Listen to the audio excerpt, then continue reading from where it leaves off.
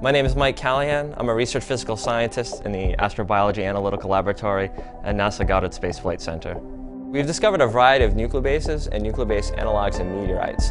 And what a nucleobase is, is it's a small molecule that's found in DNA and RNA, and these molecules are essential for all of life. And so our results show that these molecules are extraterrestrial in origin and the products of a chemical reaction occurring on the meteorite. We believe that these uh, nucleobases and meteorites are extraterrestrial based on three reasons. And the first is, is that uh, we find nucleobase analogs in meteorites. What a nucleobase analog is, is that it is a molecule that is structurally similar to the nucleobases you find in biology, but it's different.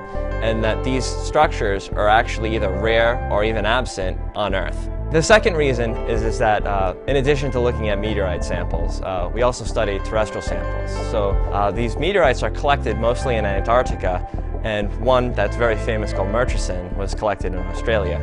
So we have soil samples from that Murchison area in Australia and we've also had, uh, we were lucky enough to get an ice sample from Antarctica where some of these meteorites were collected. And so when we look at these soil and ice samples in the laboratory, we don't see the same distribution of nucleobases. And with these nucleobase analogs, we don't see them at all in these uh, terrestrial samples. The third reason why we think these nucleobases are extraterrestrial in meteorites is that in the laboratory we study reactions of hydrogen cyanide and when we extract these, uh, the products from these hydrogen cyanide reactions, we also get nucleobases. And we actually get a similar suite of nucleobases to what's found in the meteorite. And so when we saw that, we were really excited because we were thinking, well, hydrogen cyanide is dispersed everywhere in the interstellar medium, and it's likely to have some sort of chemical reaction on the meteorite.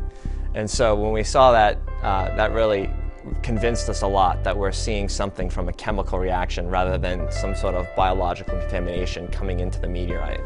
So this has implications for the origin of life on Earth.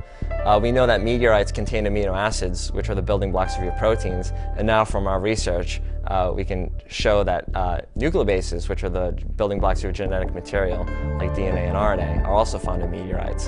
And so these things together could have seeded an early Earth with these really important molecules that could have built up to the larger molecules you see today that are essential for biology.